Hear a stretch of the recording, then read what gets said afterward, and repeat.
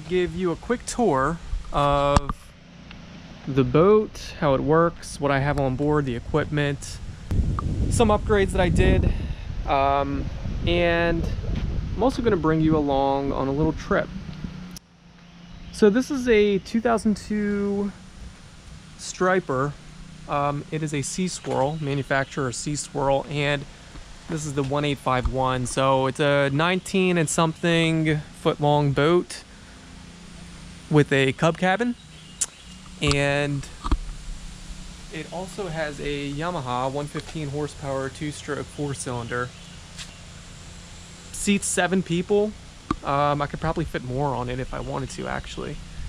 A lot of LED lights. Um, so I'm going to go through that with you. Um, it is on a new 2014 trailer, so uh, really great boat. I got this a few months ago and um, really like it so far.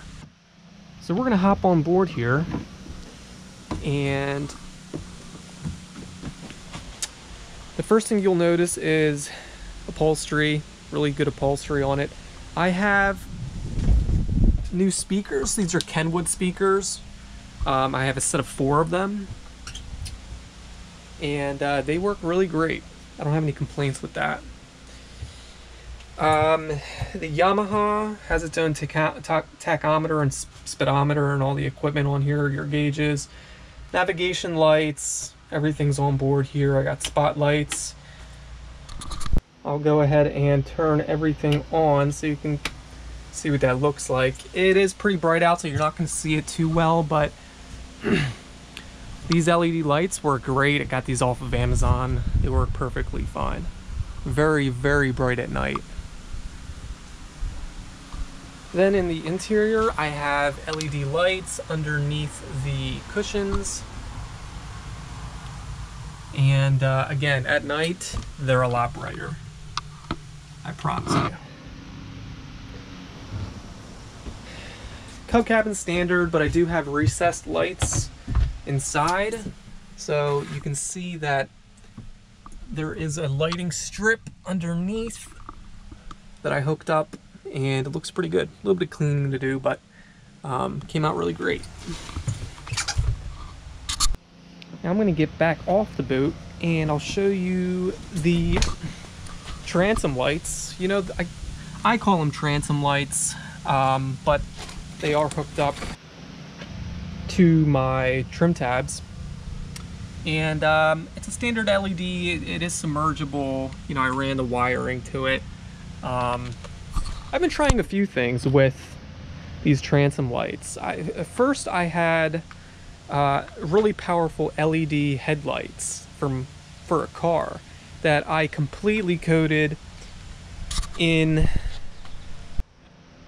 in silicone and that's actually right here clear 100% silicone sealant. This stuff, you know, it works great for boats. It's probably not permanent, but um, I'm sure there's a better material out there that you can use, but this is available at every Home Depot. It works great. I use it to seal all the cracks and crevices, um, all of the holes in the transom. You definitely want to seal up as best as you can. And those are my transom lights. Um, if you are going to do this, um, you know, just know that this is uh, transom lights on a budget. It seems to be that um, you have two options. One option is to spend over $300 on uh, really high-end, high-quality transom lights. I'm not really in the market to spend $300 on transom lights, LED lights. Um, you know, I'm the kind of person that spends money on things that are worth it. I that's just not worth that much money to me, but I do want transom lights. So I was in this little bit of a, a pickle there where I was really uh, craving some transom lights, but uh, I didn't want to spend $300. So I got these, wired them up, and we're going to see how they work. I just installed them. We're going to go out on the boat and we're going to see how, how well they work. But anyways, that's the boat ebb and flow. And we're going to go out into the open water and take it for a little test and see how it goes.